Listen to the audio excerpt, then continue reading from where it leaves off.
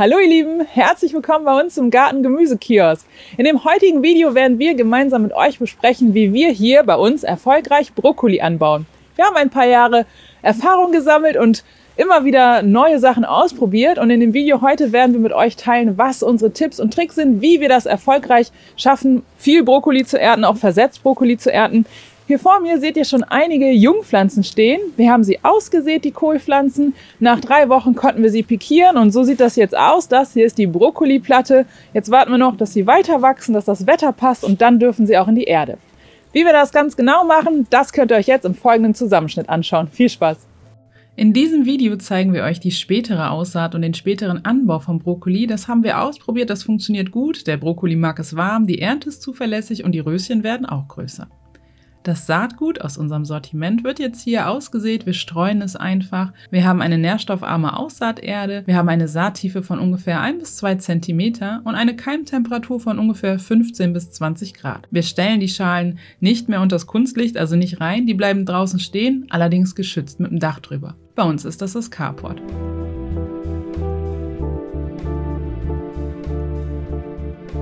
Angießen nicht vergessen und auch die Beschriftung, denn wir sehen gleichzeitig auch Rosenkohl und Grünkohl aus.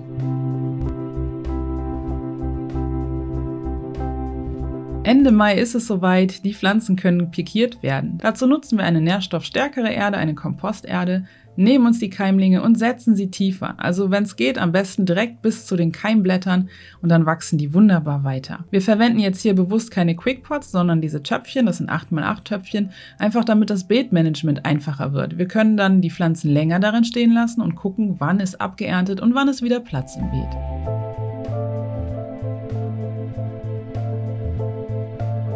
Die werden jetzt schön hier in Reihe und Glied aufgestellt. Und gerade wenn der Mai warm ist, dann ist es natürlich super wichtig zu gießen. Wir geben ihnen zusätzlich noch eine Ladung Wasser und gießen von unten, so können sie sich einfach mit Wasser selbst bedienen. Und nun dürfen sie fröhlich weiter wachsen.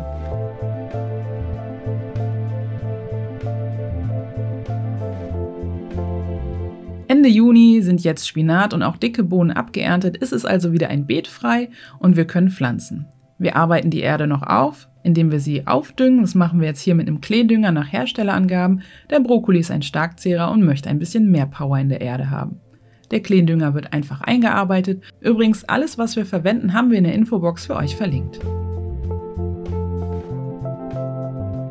Dieses Beet hier ist ungefähr eineinhalb Meter breit und unser Plan ist jetzt hier zwei Kulturen nebeneinander zu setzen, den Brokkoli gemeinsam mit der Steckrübe. Ein Video zur Steckrübe wird es auch noch geben. Wichtig bei der Beetplanung ist noch unserer Meinung nach, dass wir den Brokkoli nicht nach anderen Kohlsorten setzen. Auch auf andere Kreuzblütler sollten wir achten, wie zum Beispiel Radieschen oder Kohlrabi. Das versuchen wir zu vermeiden.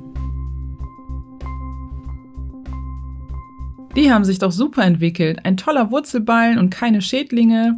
Je nachdem, wie schnell das Beet abgeerntet ist oder wenn die Vorkultur etwas länger braucht, macht es durchaus Sinn, jetzt diese spätere Aussaat nicht in Quickpots, sondern eben in diesen Töpfchen vorzunehmen.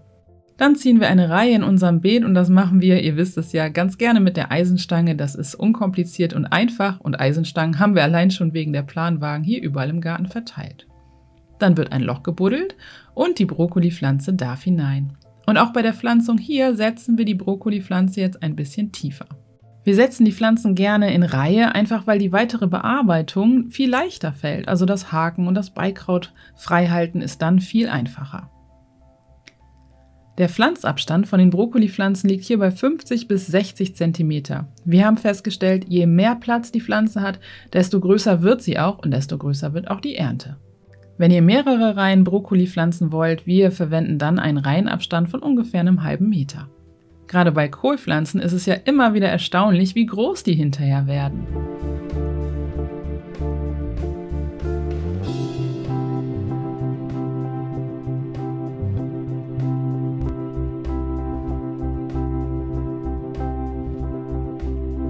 Neben den Brokkolipflanzen kommt dann noch eine Reihe mit den Steckrüben hin und später, wenn wieder Rasenschnitt anfällt, wird das Beet auch noch gemulcht. Wenn euch das Video gefällt, lasst uns gerne ein Like da und wenn noch nicht passiert, auch gerne ein kostenloses Abo.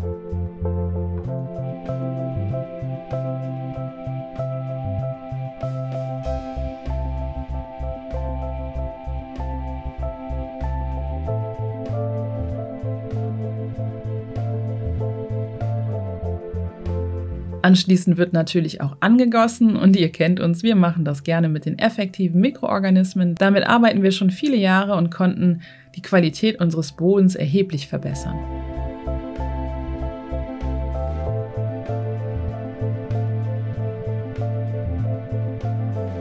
Wir haben euch erzählt, dass wir den Brokkoli ohne Netze anbauen. Wie machen wir das? Ja, wir haben viel ausprobiert und haben festgestellt, dass es scheinbar möglich ist, wenn wir so intensiv duftende aromatische Kräuter daneben pflanzen. Genau, das, was mein Mann da gerade in die Erde setzt, ist Basilikum. Schön abwechselnd in der Farbe, dann sieht es auch schön aus fürs Auge. Aber vor allen Dingen ist der Basilikum sehr, sehr intensiv in seinem Duft und dem, was er so verströmt.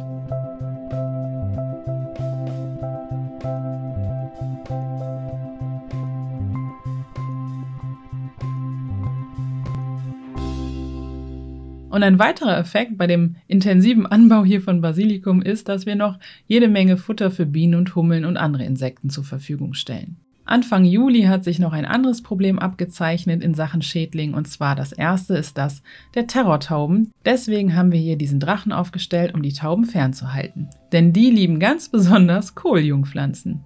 Und der zweite Schädling, der auftritt, sind die Schnecken. Ihr seht hier verteilt in dem Beet so kleine Brettchen. Ich nenne die mittlerweile gerne Snackbrettchen, denn darunter verstecken sich alle Schnecken. Ich nehme die Brettchen, gehe damit zu den Hühnern. Ich habe damit die Schnecken aus dem Beet und die Hühner haben einen kleinen Snack.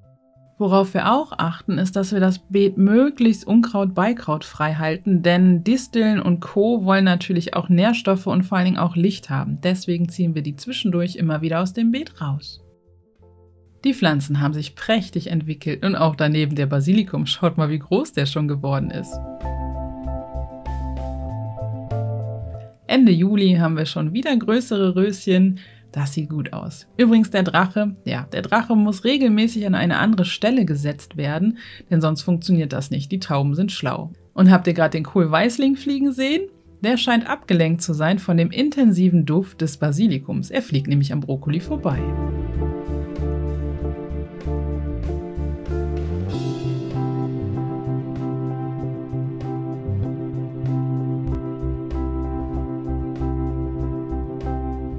Schaut mal, sieht das nicht toll aus? Schon richtig schöner Brokkoli.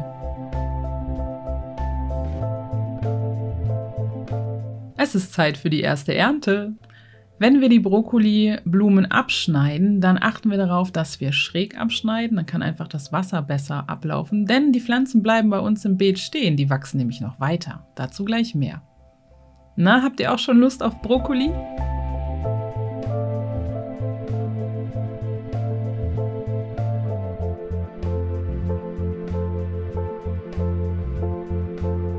Die Sorte, die wir bei uns im Sortiment haben, für die wir uns entschieden haben, ist einfach super. Denn zum einen werden die Pflanzen nicht alle gleichzeitig reif. Ich habe also automatisch naturbedingt eine versetzte Ernte. Und wenn ich dann das Röschen, also die große Blume am Anfang abgeerntet habe, dann wachsen in den Seitentrieben weitere Röschen. Und das finden wir ist ein riesengroßer Vorteil. Den Link zu dieser Sorte findet ihr direkt bei uns in der Infobox. Den Brokkoli könnt ihr natürlich noch bis Juli aussehen für den Anbau im Herbst. Wir haben hier einen wunderbaren Brokkoli, schädlingsfrei und das ohne Netze angebaut. Ob das jetzt mit dem Basilikum Zufall ist? Naja, wer weiß. Eine Garantie können wir natürlich nicht geben, aber wir werden es wieder so machen. Und uns interessiert natürlich auch eure Erfahrung. Habt ihr das vielleicht auch schon mal gemacht und es auch so bemerkt? Oder habt ihr vor, es jetzt auch mal auszuprobieren? Schreibt es uns gerne in die Kommentare. Hier können wir das wunderbar sehen. Einmal abgeerntet und die Pflanze stehen lassen. Und was macht sie? Sie bildet neue Röschen. Wunderbar. Genauso wollen wir das.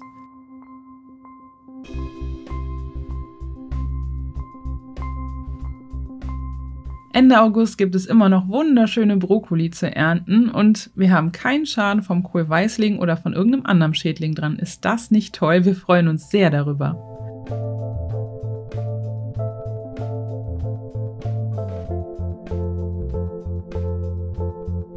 Und hier gibt es wieder ein Bilderbuch Brokkoli zu ernten. Und schon Lust auf Brokkoli? Vielleicht roh, mariniert oder lieber gedämpft oder vielleicht auch Brokkoli im Curry oder überbacken mit Knoblauch. Wie esst ihr ihn am liebsten?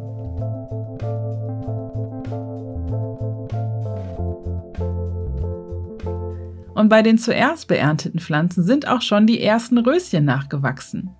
Entweder gehen wir durch den Garten und naschen die hier und da einfach mal roh, oder aber wir gehen mit dem Körbchen durch und beernten alle Pflanzen und wenn wir da eine ganze Reihe stehen haben, ist es genug für eine Mahlzeit, zum Beispiel Brokkoli mit Pasta beispielsweise.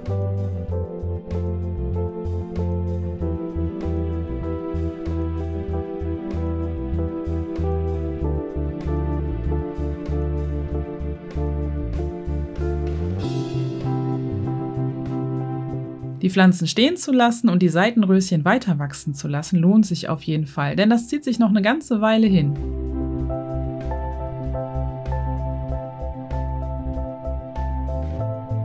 Und im September waren immer noch Seitenröschen da. Guckt mal, und die waren gar nicht so klein.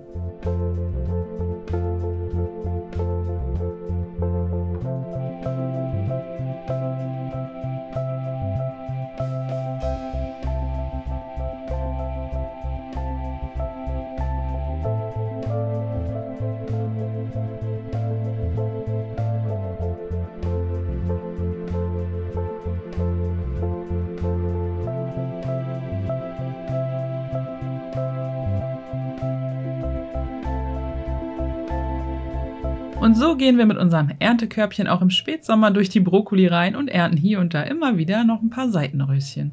Also unbedingt die Brokkolipflanzen im Garten stehen lassen und die Seitenröschen ernten.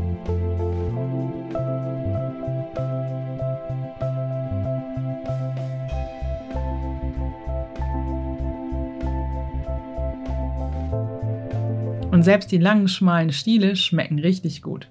Von dem YouTube-Kanal Permaglück gibt es übrigens einen ganz schnuckligen Film über Meerschweinchen und Brokkoli. In der Infobox findet ihr den Link dazu.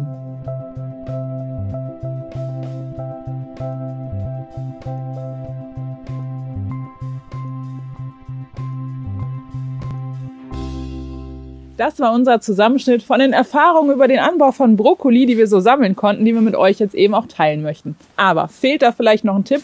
Habt ihr noch eine Erfahrung? Dann teilt sie gerne mit uns und auch mit der Community. Schreibt einen Kommentar unter dieses Video, das würde uns sehr freuen. Ebenso euer Daumen nach oben, wenn es euch gefallen hat und ein Abonnement von unserem Kanal kostenlos, falls noch nicht erfolgt. Ich hoffe, es hat euch motiviert und auch inspiriert, Brokkoli anzubauen. Vor allen Dingen, wenn ihr es noch nicht ausprobiert habt, macht es unbedingt mal.